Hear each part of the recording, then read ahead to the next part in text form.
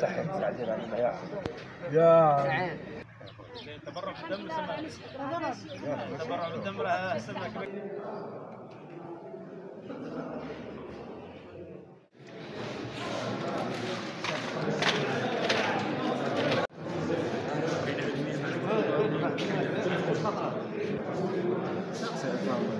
Thank you.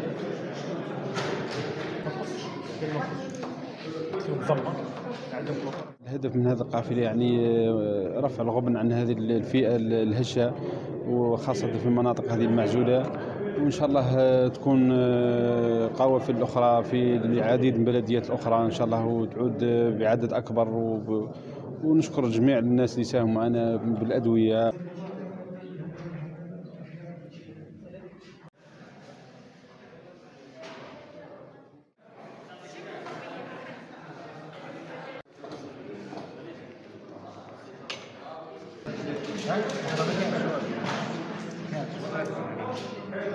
وفقنا الله سبحانه وتعالى لهذه المبادرة الثانية آه، من نوعها آه، في حملة توزيع الدواء مجانا آه، في مدينة الزعفران حاليا بدينا هذه المبادرة حوالي عامين قبل في ولاية الجلفة وهي الأولى من نوعها.